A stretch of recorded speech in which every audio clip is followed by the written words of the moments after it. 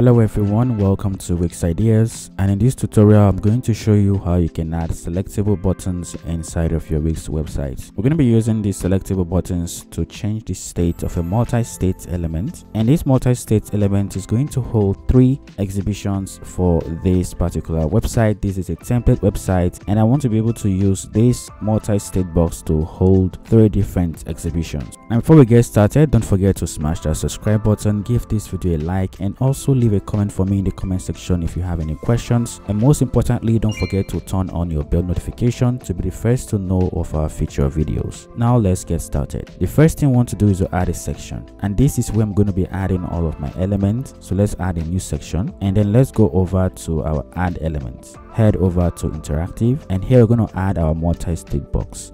If you do not find your multi-state boxes head over to the dev mode and turn on your dev mode. As you can see mine is already turned on and since the multi-state box element is a velo element then that means you have to turn on your dev mode to find it. So you can choose from the range of these but i'm going to go ahead and choose the first option now this is where i'm going to go ahead and design it the way i want it to be. So now i have edited my multi-state box and the next thing i want to do is to start adding elements into my multi-state box. So for this tutorial i'm only going to use a text element. I'm not going to go too much into the design. I'm just going to give you a concept of how this works. So let's go ahead and copy this text element. And we can come over here and paste it in. You need to make sure to drag this inside of your multi-state element and we're going to go ahead and change this to first exhibition?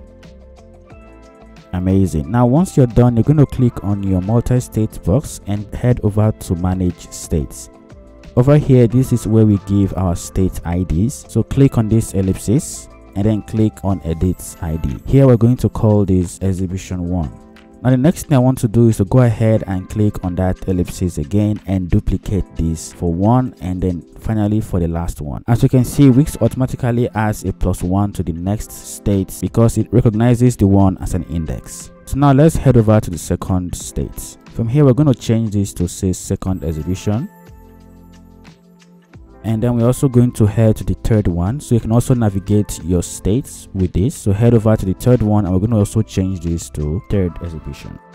Amazing. So we are done with our multi-state box. So the next part of this tutorial which is the main part of the tutorial is to add our selectable buttons. Now we're going to start designing first of all by adding a box element that is going to hold our buttons and it's also going to hold our vector image. And the vector image is going to be a check vector image this is going to show us if the state is active or not. So first let's head over to add elements. Let's go back to box and we can drag and drop any of these boxes. So again this is where you design the box the way you want it to be. So i'm going to go ahead and design mine.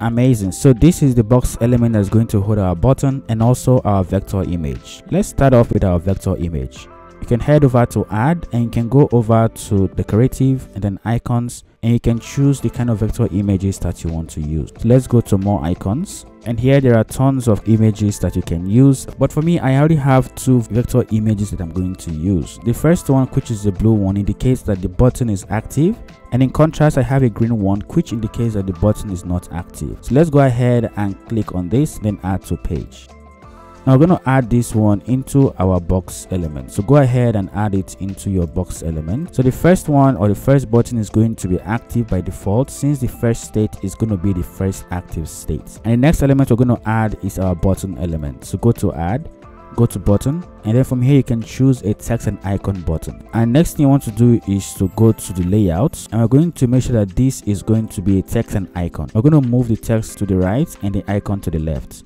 but then we're going to go ahead and align this to the left. And next thing we want to do is to go over to change text and icon. So go over here and the first one we're going to say this is exhibition one. And then for the icon we're going to go ahead and change it to any kind of icon that you want for a design or a style. It doesn't really matter. You can just choose any one that you like. So i'm just going to go ahead and choose a star for the first one. And then i'm going to go over to design. So this is where you design the look of your button. And what i want to do is to go over to the background fields. And i want to change the opacity to zero. I'm going to go over to the text and make the text a black one. I'm also going to change the font to a font that I'm more comfortable with. And then next, I'm going to go over to the border and make sure the border is set to zero. I'm going to go to the corners and make sure that this is also set to zero. So next, I'm going to head over to the icon. First of all, let's make sure that the icon is set to a black color. And then let's go ahead and increase this to maybe 20 pixels.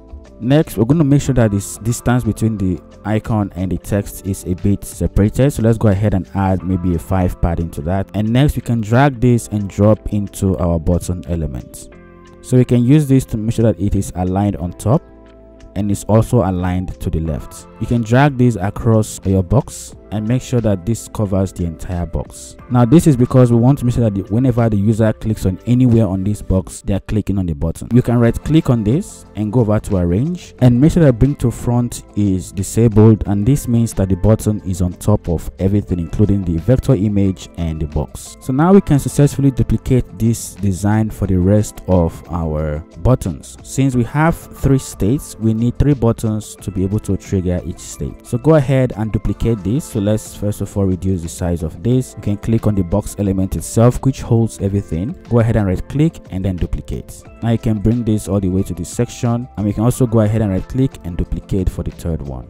Next you want to go ahead and click on your button elements and change the exhibition to exhibition 2 and then for the next one you want to change the exhibition to exhibition 3 amazing. So one more thing we need to do here is we want this one to be the active state and we want the first state to be active. So let's go ahead and change the vector image for this one and let's go to change vector image.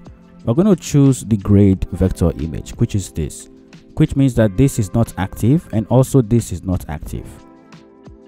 So now we have one active state and also we have these inactive states as you can see the distance between this star and the end of this box is a bit too tight. So go to your design and go to customize design. You can go to the layouts and you can unlock this layout. So this means that we are only going to control one of these layouts at a time. So let's go with 10 and see if 10 gives it some space. As you can see 10 does give it some space. So let's go ahead and do the same for the rest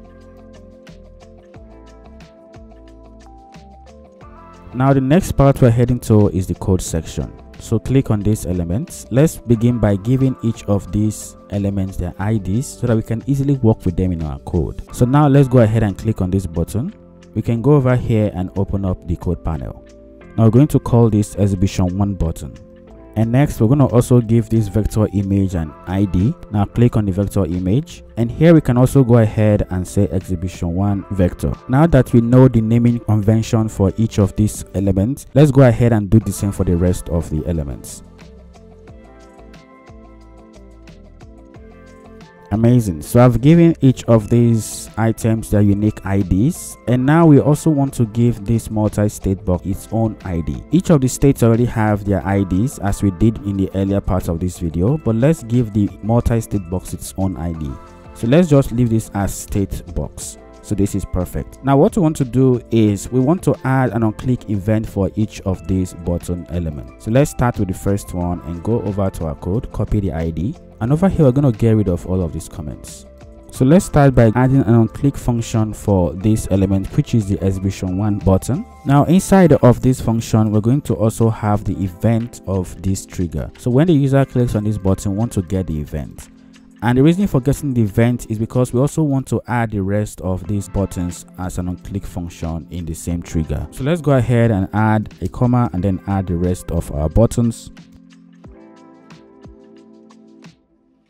So the reason for doing this is because we want to get the idea of the element that was clicked with the event. So let's go ahead over here and say let target ID.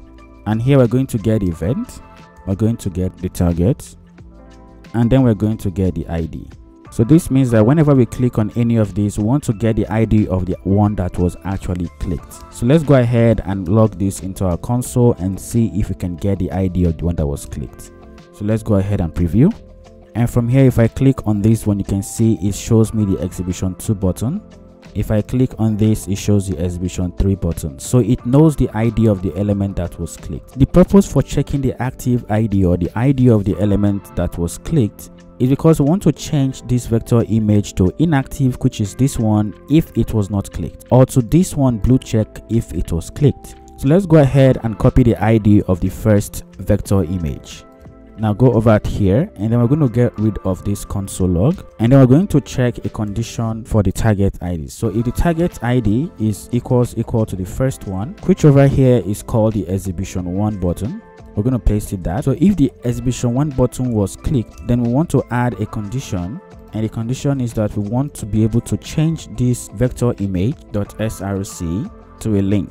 Now this is pretty easy to change. All we have to do is to go back to our media manager and from there we can be able to get the url of the active button. So this is the active button. Click on this active button here. Head over to file info. And over here the url copy the url of this blue check.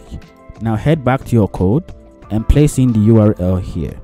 Now this is the source file and wix automatically recognizes this image. Next thing we want to also do is we want to be able to change this multi-state to the first exhibition. So click on your multi-state and then head over to the state box element then let's go to our next line and add the id of our multi-state box element.